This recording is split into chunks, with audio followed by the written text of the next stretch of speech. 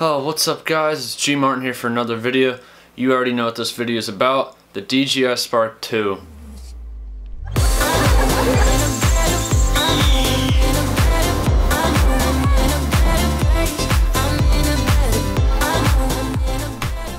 Oh man, I've been waiting a long time for this to happen. So the DJI Spark came out back in 2017 and it's been two years and now we're just now catching word that they will be making a DJI Spark 2. Now this is good news for me because if you follow my channel, you know I'm a huge fan of the DJI Spark.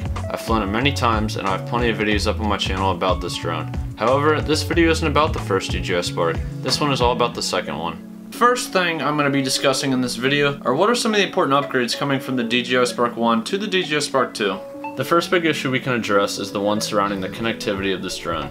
The quality of it would change all the time and it would do so at the worst times. This would sometimes happen when I was flying over water and it would really worry me as I really didn't want to lose my drone due to bad connection. Rumor has it they're going to be fixing this in the DJI Spark 2 and I really hope this is true because that would fix a lot of problems that have happened in the past. Alright, the second most important thing that the DJI Spark will be receiving is the camera is actually going to receive an upgrade. Now, if you flew the DJI Spark 1, the camera isn't bad, but it could be better, and thankfully that's going to be the case with the DJI Spark 2.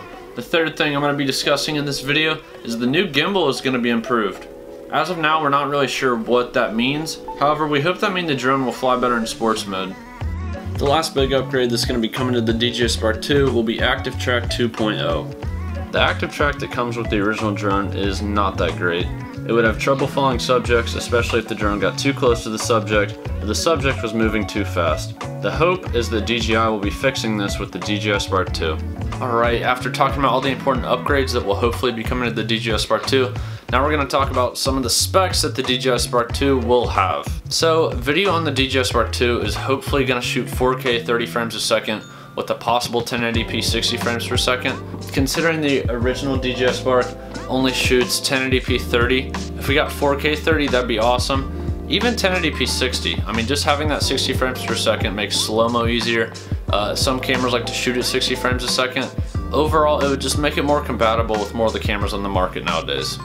The gimbal in the new version will be improved. We don't exactly know what that means right now. However, some rumors include support with sports mode, smoother turns left and right, and smoother movement when using the new active track. So another really cool feature is the DJI Spark 2 is actually rumored to have a better battery, which means 18 minutes of flight time instead of 16. Now it doesn't sound like a lot, but when you're flying a drone in the air, two minutes is the difference between getting three extra shots that you wanted versus not getting them at all. Obviously I would take the 18 minute battery over the 16 minute battery. As for color selection on the new DJI Spark 2, uh, we're not going to have all the colors that we got with the first one. The new one, you can only buy in black and white. Now, this doesn't really upset me. It might upset some people, but you could always just buy a skin and put it on your drone after you buy it. That's what I did with mine. Uh, my original drone was red. I decided to put a skin on it. I like it better that way. I would highly recommend doing that yourself. Now this is actually a pretty cool feature for the new camera on the drone. It's going to be featuring a two times digital zoom. Considering the camera does shoot in 4K, I could see this being possible and I could see it actually looking pretty well, especially the end product. And uh, yeah, I'm actually pretty excited for this. This is going to be kind of cool. You're going to be able to fly up and you will be able to zoom in on objects that are farther away from you and it will still look very good. Another cool feature with the camera is we're actually going to be getting a panorama mode. In the first one, you would have to fly the drone up, take 40, 50 or so photos, and then you would actually have to put them together uh, on your computer after you filmed it. And this was kind of a headache. If this is true, that would be awesome. I mean, that would save a lot of time, especially for me. I've done this a few times and I've put photos on Reddit where I've had to do the panorama. It's a pain in the butt. If they would just include it in this new DJI Spark 2, it would save a lot of time for the people actually flying the drone, and yeah, it would just make the drone run smooth. Now, after talking about all the specs and everything that's going to be included, with the new drone. Uh, now we're gonna go talk about the price of the drone. I'm pretty sure the DJI Spark 2 should be released around 499 US dollars. Considering the first one came out at that price, I couldn't see them going higher than that. Otherwise, it just it wouldn't be right. It wouldn't make sense.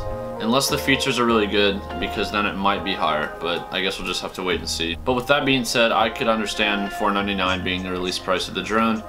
It, it would just make a lot of sense. Let me know all your thoughts on what you think about this new maybe drone. As if this actually does happen, this would be pretty cool and this would be a good step for DJI. They need another drone that's small but has all the features of the bigger ones and they need the price point of a small drone. So if they can make this happen, that would be awesome. Comment down below what you think of this. And as always, I'm G Martin and I will see you in the next one.